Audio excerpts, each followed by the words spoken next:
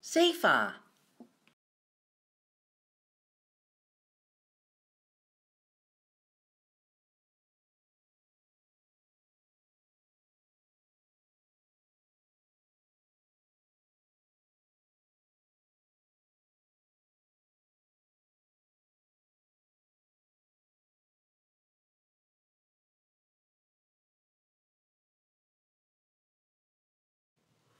Vi befinder os nu i Nordamerika. Her lever den store brune bjørn. Lad os slå smut forbi bjørnen og se, hvad den laver.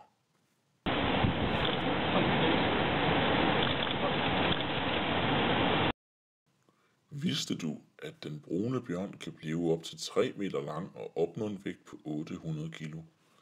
Derudover sover den hele vinteren i sin hule.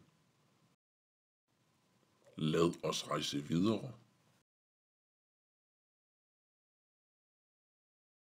Lad os nu tage et nærmere kig på Sydamerikas dyreliv.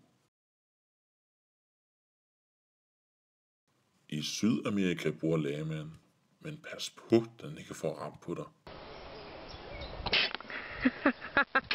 C'était le crachat du lama. Vidste du, at en lama kan blive op til 20 år gammel, og at den spytter i selvforsvar?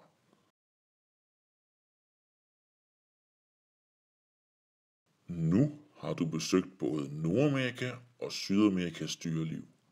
For at opdage dyrelivet i de andre verdensdele, kan du benytte dig af de andre kikkerter. Wow, far. Vidste du, at den brune bjørn er virkelig god til at fange fisk? Hallo, kommer I ikke herop? Der er en kikkert mere. Der er også en derovre. Lad os prøve dem alle sammen. Med de nye digitale kikkerter hos verdenskortet kan familien udforske hele verdens dyreliv og få en sjov og lærerig oplevelse.